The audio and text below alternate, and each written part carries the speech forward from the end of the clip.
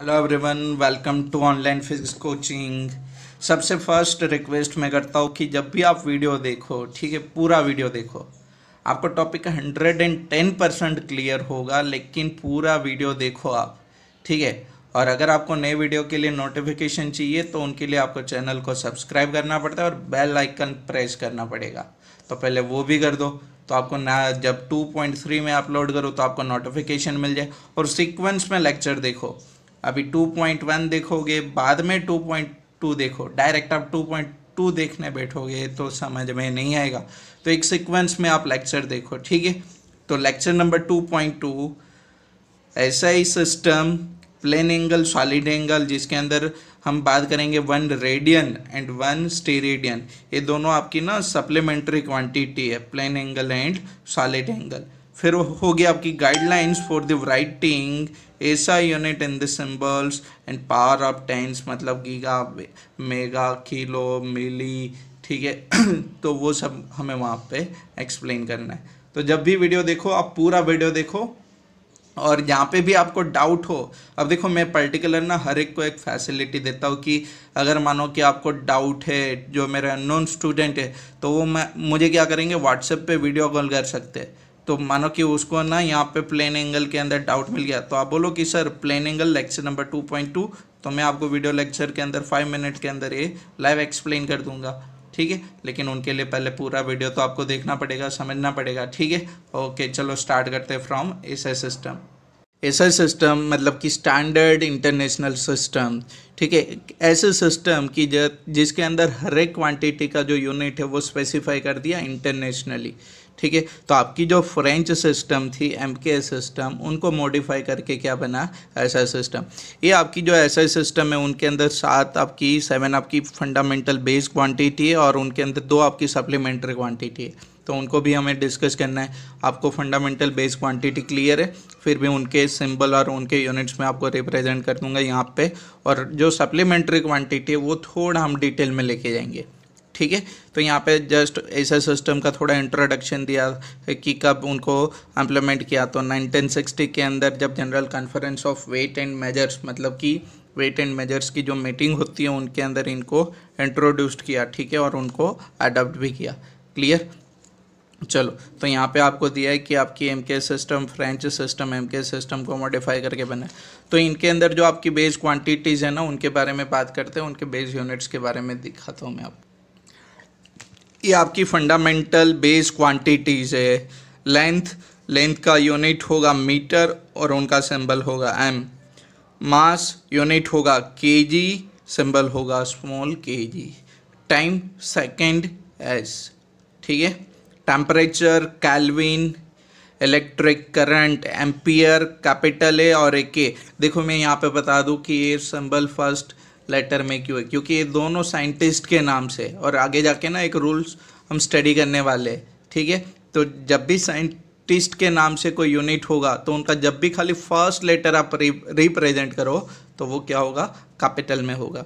Luminous intensity candela quantity of या तो amount of matter या तो क्वांटिटी ऑफ़ मैटर मोल ठीक है? तो ये आपकी कौन सी क्वांटिटी है? बेस क्वांटिटी है। और सप्लीमेंट्री क्वांटिटी के लिए देखो यहाँ पे तो आपकी दो सप्लीमेंट्री क्वांटिटी और उनके यूनिट्स तो फ़र्स्ट है आपकी प्लेन एंगल ठीक है? उनका यूनिट क्या होगा? रेडियन और ये इनकी संबल है। सॉलिड एंगल स्टे रेडियन उनकी यूनिट है और ये इनका संबल है। एस आर से लिखते हो आप। क्लियर तो ये दोनों आपकी कौन है? Supplementary quantity base quantity plus two supplementary quantity clear तो इतना आपके इस सिस्टम के अंदर इंट्रोड्यूस्ड हुआ। तो अभी हमें दोनों plane angle and solid angle के बारे में डिटेल में स्टडी करना है। कैसे स्टडी करना है? डिटेल स्टडी करना है। ठीक है? चलो। Plane angle the ratio of length of arc to the radius of circle arc मतलब radius of arc is is called plane angle तो मानो कि ये आपकी आर्क है यहाँ पे आर्क ए बी बोलो आप आर्क ए बी और उनकी रेडियस किसके बराबर है? आर के बराबर। तो आर की लेंथ किसके बराबर होगी? ए बी के बराबर डी एल के बराबर। तो उनका जो प्लेन एंगल होगा, वो क्या होगा? आर्क डिवाइड बाय रेडियस तो यहाँ पे मैं बोल सकता हूँ कि ऐसे होगा A B divide by A B divide by R और एक किसके बराबर है? डी थीटा के बराबर। तो उनको आगे मैंने एक्सप्लेन किया है, देखो। तो अगर मैं आर्क लेंथ किसके बराबर कंसिडर करूँ? डी एल के बराबर, ठीक है? सबटेंस एंगल डी थीटा यहाँ पे डी थीटा आपकी स्मॉल एंगल है? तो डी थीटा किसके बराबर होगा? D L divide by R तो डी एल कौन होगी? Arc length divide by radius ठीक है? और इनका यूनिट क्या होगा? आपने आगे बोला था कि प्लेन एंगल की यूनिट क्या होगी? रेडियन होगी। तो ये देखो D L divide by R radian है कि नहीं? ठीक है? तो पाई रेडियन याद रखो आपकी पाई रेडियन किसके बराबर होगी? 180 डिग्री के बराबर। किसके बराबर होगी? 180 डिग्री के बराबर। मतलब कि वन रेडियन किसके बराबर होगा? पाई नीचे जाएगा 180 डिवाइड बाय पाई। पाई की वैल्यू आपको पता है 3.14 तो ये कितना मिलेगा? 57.7 डिग्री।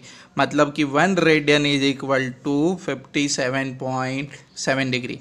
देखो, सॉलिड एंगल के और स्मॉल यूनिट है।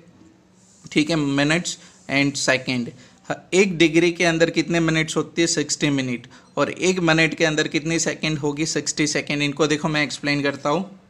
मानो कि यहाँ पे आपकी ये जो एंगल है ना, वो कितनी है? वन डिग्री तो अगर ये वन डिग्री एंगल को मैं सिक्सटी इक्वल पार्ट्स में डिवाइड करूँ, देखो, ये वन डिग्री को क्या करूँ? सिक्सटी इक्वल पार्ट्स में डिवाइड करूँ तो ये जो हर एक पार्ट बनेगा ना ये हर एक पार्ट बनेगा, वो किसके बराबर बनेगा? वन मिनट्स के बराबर। समझ में आ कि नहीं? क्लियर तो 60 minutes is equal to one degree 60 minutes is equal to one degree और सेम यहाँ पर वैसे ही सेकेंड के लिए। तो देखो सेकेंड के लिए तो मानो कि यहाँ पे मैं एक एंगल कंसिडर करूँ ए एंगल आपकी कंसिडर करूँ वन मिनट्स के बराबर। मतलब देखो खाली इतना। ये इनको और सिक्सटी पार्ट में डिवाइड करो। ये आपकी वन मिनट है ना? इनको और सिक्सटी पार्ट में आप डिवाइड करो तो उनका हर एक पार्ट क्या बनेगा आपका? सेकेंड बनेगा। तो मानो कि आपकी कौन है? One minute. ठीक है? तो उनको सिक्सटी पार्ट में डिवाइड करो।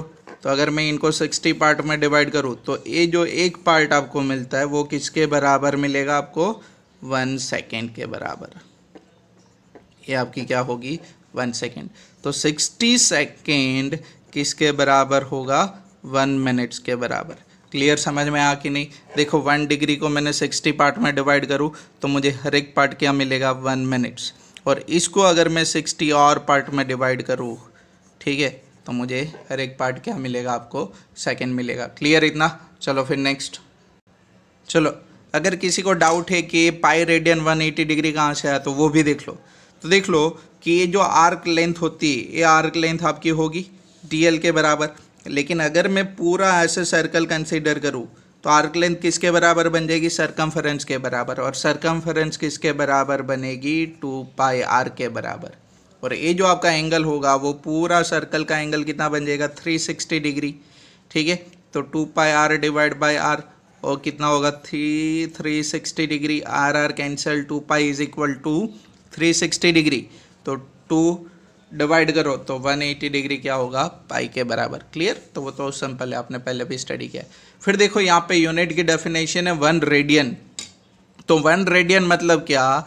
कि ये जो D theta is equal to D L by R या तो आप बोलो theta is equal to arc divide by radius है, वो आपको किसके बराबर बने? वन के बराबर मिले।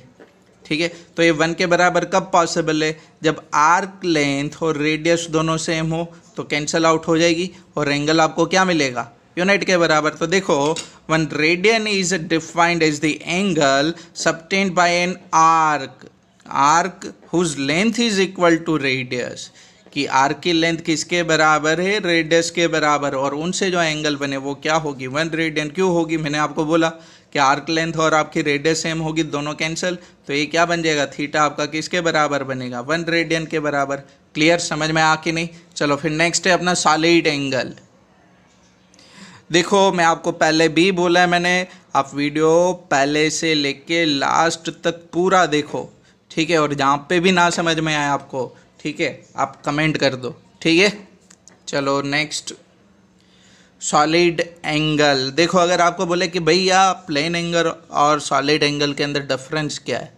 तो मैं आपको बता दूँ ना कि ये जो सॉलिड एंगल है ना, वो थ्री डायमेंशनल एंगल है। और प्लेन एंगल ना टू डायमेंशनल होती है। ठीक है? तो देखो सॉलिड एंगल की डेफिनेशन देखो एकदम मैंने ये मस्त आपके लिए बनाया। अभी मैं आपको एक्सप्लेन करता हूँ इनसे। ठीक है? The ratio of intercepted area intercepted area of the spherical surface अगर एक मैं स्पेरिकल सरफेस कंसिडर करूँ, ठीक है? तो उनका सरफेस डिस्क्राइब अबाउट एपेक्स मतलब उनकी centre as the centre to the square of a radius is called a solid angle तो मानो कि एक पूरा एक ना स्पेरिकल सरफेस है, और उसका ना इतना एरिया मैं कंसिडर करूँ।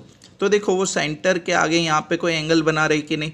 लेकिन आपकी पैराशूट होती है, उनकी चारों कॉर्नर से मैं स्ट्रिंग लगा के ना उनको सेंटर में कहीं पे एक फिक्स्ड करूँ। तो सेंटर पे जो एंगल बनता है, वो कौन सा होता है आपका सॉलिड एंगल तो सिंपल मैं बोलूँ कि आपकी जो सॉलिड एंगल है, वो कौन है? Surface area divide by radius square ठीक है? कि आपकी स्पेरिकल सरफेस की जो भी सरफेस होगी वो उनका area divide by radius square तो वो आपका क्या बनेगा? सॉलिड एंगल बनेगा। समझ में आ कि नहीं? क्लियर चलो मैं आपको यहाँ पे एक्सप्लेन करके दिखाता हूँ। तो मानो कि एक स्पेरिकल सरफेस है और स्पेरिकल सरफेस का ना, आप थोड़ा सा पोर्शन ले लो। मानो कि आपकी एक, थोड़ी सी एक पोर्शन है। ठीक है? लाइक जैसे मैंने आपको बोला था ना पैराशूट वाला। चलो तो ये देखो, ये इनकी चार स्ट्रिंग यहाँ पे है ना, उनको देखो मैं थोड़ा आपको घुमाता हूँ, ठीक है? तो देखो यहाँ पे ये रहेगा हाँ। तो ये पूरी एक सरफेस स्पेरिकल सरफेस का एक कितना पोर्शन आप कंसिडर कर लो। देखो, ये इनकी चार स्ट्रिंग है, उनको मैं रेडियस बनाता हूँ, देखो कैसे। और सॉलिड एंगल आपकी कहाँ पे बनेगी? मैं आपको सिंपल बोलूँ, आपकी आइसक्रीम की जो कौन होती है ना, और आपके हाथ में जो पोर्शन रहता है ना, वहाँ पे आपकी कौन सी बनती है? सॉलिड एंगल देखो ये वाला ए, एक करके दिखाओ एक करके दिखाओ। लाइक देखो यहाँ ऐसे बनेगा भैया। ये आपकी सरफेस एरिया और ये ये देखो यहाँ पे जो एंगल बनेगा समझ में आ रहा है कि नहीं आपको? ये यहाँ पे जो एंगल बनेगा वो कौन सा एंगल बनेगा आपका? सॉलिड एंगल देख लो आप। ठीक है? ये आपकी सरफेस एरिया बनेगी कोई स्पेरिकल सरफेस का पोर्शन होगा और ये मेरी उंगली के आगे, मेरे थम के आगे, ये जो एंगल बनेगी ना, वो आप देखो ऊपर से तो वो क्या बनेगी आपकी? सॉलिड एंगल बनेगी। क्लियर अभी आपकी ये जो नोट्स के अंदर फिगर है, उनके साथ मैच करो। तो ये आपका क्या बनेगा? यहाँ पे देखो उंगली के आगे, ये क्या बनेगा आपका सॉलिड एंगल क्लियर ऐसे ये आपकी सरफेस होगी, और ये इनकी क्या बनेगी? स्पेरिकल सरफेस की इल्लो एक टूट भी गया। ये क्या बनेगी? स्पेरिकल सरफेस की रेडियस बनेगी। समझ में आ कि नहीं? चलो तो देखो अभी वहाँ पे। तो देखो, ये आपकी सरफेस थी कार्ड आपकी सरफेस थी वहाँ पे, और स्ट्रिंग आपकी रेडियस थी ठीक है नहीं? तो ये क्या बनेगा वहाँ पे सॉलिड एंगल चलो तो अगर मैं स्मॉल सरफेस एरिया कंसिडर करूँ डी ए के बराबर, और रेडियस किसके बराबर है? यहाँ पे आर के बराबर तो D A by R square क्या बनेगा आपका? सॉलिड एंगल डी ओम ठीक है? या तो डी ओमेगा बोलते हो उसको। चलो, फिर देखो, हर एक यूनिट की डेफिनेशन देनी है तो यहाँ पे वन स्टेरेडियन की भी डेफिनेशन देनी है, जैसे वन रेडियन दिया था। तो देखो यहाँ पे वन स्टेरेडियन कब पॉसिबल है, ठीक है? तो ये D A by R square है ना? डी ऑम ठीक है? तो डी ओमेगा बोलो। तो जब ए सरफेस एरिया किसके बराबर बने? स्क्वायर ऑफ़ द रेडियस के बराबर। सरफेस एरिया किसके बराबर बने? स्क्वायर ऑफ़ द रेडियस के बराबर। तो ये क्या बनेगा आपका? वन स्टेरेडियन बनेगा। क्लियर? समझ में आ कि नहीं? तो क्या बनेगा? वन स्टे रेडियन देखो, यहाँ पे उतना ही चेंज होगा। One steradian is the angle solid angle subtended at the centre of sphere by the surface of sphere, which is equal in area to the square of the radius of the sphere. कि एक ऐसी surface जिनका area किसके बराबर है? Are square के बराबर. एक ऐसी सरफेस जिनका एरिया किसके बराबर है? आर स्क्वायर के बराबर. तो R square by R square क्या बन जाएगा भैया? वन स्टेरेडियन समझ में आ कि नहीं आपको? सरफेस एरिया किसके बराबर? स्क्वायर ऑफ़ रेडियस के बराबर। तो जो सेंटर पे अपेक्स पे आपका एंगल बने, वो किसके बराबर होगा? वन स्टेरेडियन के बराबर। ओके चलो फिर नेक्स्ट टॉपिक है आपका। Guidelines for writing is a unit in symbol कि आप हर एक क्वांटिटी का यूनिट ले लो फोर्स ले लो वैक्टन ले लो, किसी का भी यूनिट लो, उनको लिखना कैसे ठीक है? और ये याद रखो फिजिक्स के अंदर जब भी आप नोमेरिकल कैलकुलेट करोगे ना तो जो भी आपने क्वांटिटी कैलकुलेट की है ना, उसको यूनिट के साथ रिप्रेजेंट करना होता है। तो यूनिट्स कैसे लिखोगे? तो उनकी एक स्टेप बाय स्टेप आपकी मेथड से ठीक है? मतलब उनके रूल्स है, वही रूल्स फॉलो करके आपको यूनिट्स को रिप्रेजेंट करना होता है। तो फ़र्स्ट देखो small letters are used for symbol of units आपने देखा ना, आगे मीटर था, आपका के जी था तो वहाँ पे स्मॉल लेटर्स आपने यूज़ किए थे कि नहीं? कि आपकी मीटर थी के जी थी सेकेंड थी, ठीक है? तो इनके सिंबल के लिए आप क्या यूज़ करते हो? Small letter symbols are not followed by full stop देखो, आपने ऐसे नहीं लिखा मीटर डॉट लिखा था, ये गलत है, ठीक है? आपने के जी डॉट लिखा था फुल स्टॉप किया था, नहीं, ये गलत है आपका सेकेंड डॉट लिखा था, नहीं। तो मतलब कि आपकी जो सिंबल होगी, उनके पीछे कभी फुल स्टॉप नहीं लगेगा। ये याद रखो। फिर next the initial letter of symbol is capital only when the unit is named after the scientist कि आपकी जो यूनिट है ना, उनका सिंबल कैपिटल हो सकता है। कब? जब वो यूनिट साइंटिस्ट के नाम से हो। लाइक फोर्स का यूनिट होता है। फोर्स का यूनिट क्या होगा? न्यूटन तो आप ऐसे लिख सकते हो। देखो खाली फ़र्स्ट लेटर और वो भी कौन? कैपिटल पूरा नाम नहीं लिख सकते आप ठीक है? पूरा नाम के लिए आपको सेकेंड लेटर में लिखना पड़ेगा स्मॉल लेटर में। जैसे कि मैं बोलूँ जूल तो वर्कडन का यूनिट जूल है तो वो भी साइंटिस्ट के नाम से। तो देखो आप ऐसे जे कैपिटल लिख सकते हो। आ, आगे आपने देखा था ना एम्पियर करंट का यूनिट कौन है? एम्पियर इलेक्ट्रिक करंट तो उसको भी कैपिटल में लिखा था कि नहीं आपने? ठीक है, क्योंकि वो साइंटिस्ट के नाम से। फिर एक और था, याद करो तो कैलविन। वो भी साइंटिस्ट के नाम से था तो आपने ऐसे लिखा था कि नहीं, कि क्लियर? तो जब भी साइंटिस्ट के नाम से कोई यूनिट होगा तो उनका फ़र्स्ट सिंबल क्या बन सकता है? उनका फ़र्स्ट लेटर कैपिटल। और सेकंड एक और है, देखो यहाँ पे। अगर आपको फुल लिखना है कि न्यूटन की जगह पे न्यूटन लिखना है तो ऐसे लिखोगे आप। न्यूटन, फुल ऐसे लिखोगे। समझ में? जूल लिखना है, ठीक है? टेन जूल एनर्जी है तो जूल आप ऐसे लिखोगे पूरा, ठीक है? एम्पियर पूरा लिखोगे कैलविन पूरा लिखोगे, ठीक है? समझ में आ? Full name of unit always begins with a small letter even if named by scientist आप किलोग्राम लिखो तो किलोग्राम भी आप ऐसे ही लिखोगे, ठीक है? सेकेंड में पूरा।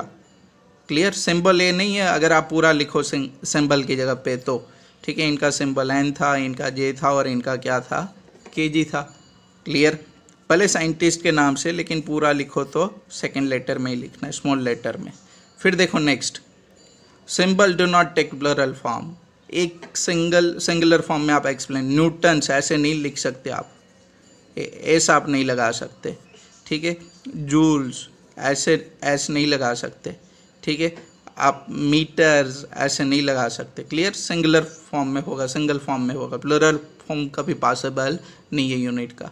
ठीक है, कितना भी, कितनी भी बड़ी आपको वैल्यू मिले।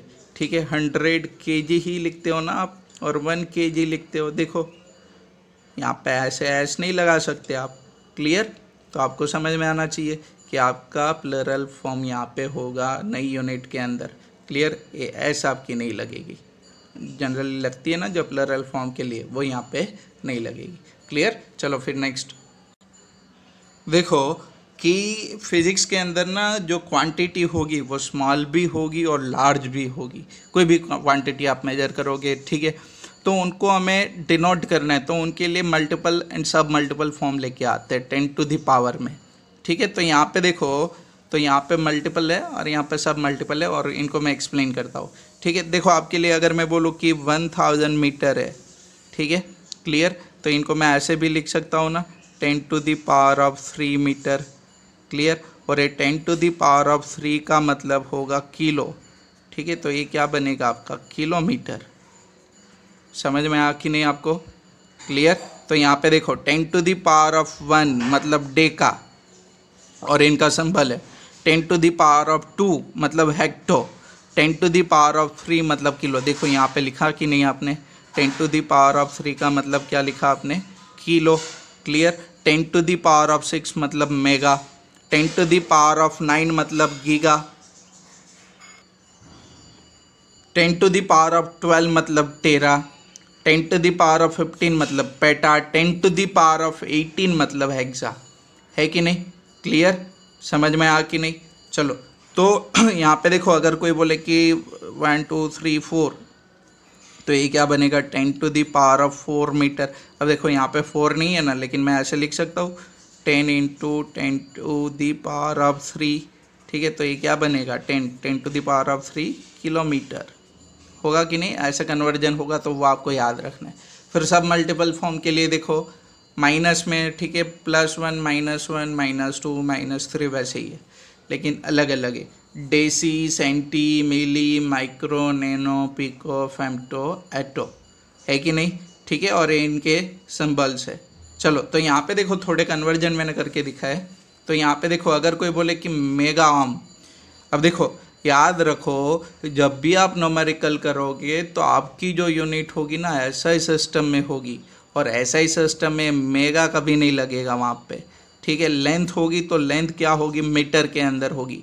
अगर आपका रेजिस्टेंस होगा तो वो ओम के अंदर होगा किलो ओम के अंदर नहीं होगा, ठीक है? कोई भी क्वांटिटी होगी तो मीटर में होगी, ऐसा ही सिस्टम के फॉर्म में रहेगी कि रेजिस्टेंस तो वो ओम में लेते किलो ओम में नहीं लोगे आप, ठीक है? मास होगा तो वो मास आपकी जो होगी वो केजी के अंदर आप वहाँ पे रखोगे, ठीक है? क्लियर तो ये सब आपको याद रखना है क्लियर तो यहाँ पे देखो वन मेगा ओम ठीक है? तो मेगा ओम टू खाली ओम जन है। तो मेगा का मतलब क्या होता है? तो मेगा मतलब देखो कितना होता है? Ten to the power of six तो मेगा की जगह पे आप क्या लिख सकते हो? ये इनका सिंपल फॉर्म में लिखा है वन मेगा ओम तो मेगा मतलब ten to the power of six ohm clear समझ में आ? और आप उल्टा भी बोल सकते हो ना कि ten to the power of six ohm मतलब कितना? वन मेगा ओम देखो, वैसे ही वन किलोमीटर है। वन किलोमीटर तो इनका सिंबल है। तो किलो की जगह पे क्या लिख सकते हो आप? Ten to the power of three. तो ten to the power of three metre. Clear हो, हुआ कि नहीं आपको? फिर देखो, यहाँ पे वन डेका ग्राम है। ठीक है? तो डेका मतलब कितना? Ten to the power of one. तो देखो, टेन ग्राम। तो ten gram is equal to one deca gram बोल सकते हो कि नहीं? फिर देखो, वैसे ही सेंटीमीटर है, वन सेंटीमीटर। तो यहाँ पे देखो, सेंटीमीटर है। ठीक है? तो स्मॉल यूनिट है। क्लियर तो यहाँ पे देखो सेंटी मतलब कितना होगा? Ten to the power of minus two ठीक है? क्लियर तो centi ten to the power of minus two फिर देखो, और भी दिया आपको, मिली। तो मिली यहाँ पे है कि नहीं? वन मिली मतलब ten to the power of minus three तो ten to the power of minus three micro तो देखो, कहाँ गया? माइक्रो ये रहा। तो ten to the power of minus six micro micro की जगह पे। क्लियर नैनो ठीक है n for nano ten to the power of minus nine है कि नहीं? है कि नहीं कन्वर्जन सारे? ठीक है, और ये याद रखोगे, क्योंकि क्लास ट्वेल्थ में जाओगे ना तो रेजिस्टेंस होगा। वहाँ पे बोलेंगे बेस्ट में एग्जांपल दो कैपेसिटेंस का। तो वहाँ पे बोलेंगे फाइव माइक्रो फेरेड है कैपेसिटेंस कैपेसिटेंस कितना बोला आपको? फाइव माइक्रो फेरेड तो उनको आप फेरेडे में कन्वर्ट करोगे। तो फाइव माइक्रो मतलब कितना होगा? Ten to the power of minus six farad ये हुआ कि नहीं कन्वर्जन आपका? आपको बोले कि चार्ज होगा आपका फाइव माइक्रो कुलम तो चार्ज का यूनिट कुलम में रहेगा। तो देखो फाइव माइक्रो की जगह पे आप क्या लिखोगे? Ten to the power of minus six coulomb आपको बोले चार्ज मानो कि फाइव नैनो कुलम तो नैनो मतलब क्या? तो नैनो मतलब ten to the power of minus nine five into ten to the power of minus nine coulomb तो ये देखो कि आपकी माइक्रोमीटर भी हो सकती है ना ऐसे। तो ten to the power of minus six metre आपकी लेंथ होगी। मानो कि वन माइक्रोमीटर बोला है। तो मतलब मीटर में कन्वर्ट करोगे कि नहीं आप? ठीक है तो ये कन्वर्जन होगी कि ये आपकी जो है ना सिंबल वो आप याद रखोगे। ठीक है मोस्टली यहाँ पे कन्वर्जन होगा आपका और यहाँ पे मेगा किलो बस ये यहाँ पे ये दो याद रखनी आपको। किलो मेगा और मे बी गीगा कभी यूज़ करोगे। और यहाँ पे देखो माइक्रो याद रखना है, नैनो याद रखा है पाइकर रखना है, मिली, सेंटी याद रखना है। ठीक है? फेमटो जाके लास्ट में आएगा ten to the power of fermi में आएगा वो। ठीक है? तो ये याद रखोगे क्लियर अगर आपको बोले कि मानो कि वन मिलीमीटर लेंथ है किसी की, ठीक है? कोई लेंथ है वन मिलीमीटर तो ये मीटर में कितनी होगी? मिली मतलब कितना देखो तो ten to the power of minus three metre होगा कि नहीं? क्लियर और वैसे भी आपको रिलेशन है, याद one thousand m m is equal to one metre clear ये रिलेशन भी आपको याद रखना है। ओके समझ में आ कि नहीं सबको ये? क्लियर तो आप सबको यहाँ पे देखो अलग अलग एग्जांपल दिए लाइक वन पाइको फेरेड है तो पाइको मतलब कितना होगा? Ten to the power of minus twelve farad है कि नहीं? चलो। तो आप सबको समझ में आया कि नहीं? और इनको अच्छे से आप याद रखोगे क्योंकि ये सब आपका क्लास ट्वेल्थ के अंदर तो कन्वर्जन होगा वहाँ पे नोमेरिकल में, और क्लास एलेवेंथ के अंदर भी है कि यहाँ पे भी आपको क्या करना पड़ेगा? यूनिट कन्वर्जन करोगे आप। ठीक है? तो इनको अच्छे से याद करो, और यहाँ पे कोई भी गलती नहीं होनी चाहिए। अगर यहाँ पे आप छोटी सी गलती कर दोगे ना, पूरा नोमेरिकल आपका गलत हो जाएगा यूनिट कन्वर्जन में। है ना? चलो तो सबको समझ में आया तो आप वीडियो को लाइक करो। और चैनल को भी सब्सक्राइब करो और आपके फ्रेंड सर्कल के साथ शेयर कर दो, है ना? ऑनलाइन देखने के कोई पैसे नहीं होते और ऑनलाइन में याद रखो कि मैं यहाँ पे वीडियो छोटी क्यों बना रहा हूँ? तो सिंपल कि एक साथ बनाएँगे ना तो मेरे पास उतना टाइम भी नहीं है। और दूसरी बात, आपको भी ना थोड़ा इंट गेप मिल जाएगा कि, सर, आज इतना लर्न किया, कल उतना करते। ठीक है लाइक जैसे आप रेगुलर क्लासेस पे जाते हो और लेक्चर होती है, वैसे ही आपका शेड्यूल बन जाएगा। ठीक है? तो थैंक यू एंड सब वीडियो को लाइक एंड शेयर ज़रूर करें। Thank you bye have a good day